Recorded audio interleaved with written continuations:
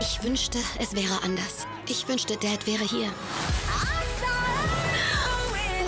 Dein Vater wird gefangen gehalten von einer bösen Energie. Und die einzige, die ihn finden kann, bist du. Du hast überhaupt keine Ahnung, wie unglaublich du bist. Das Zeiträtsel. Jetzt als Download.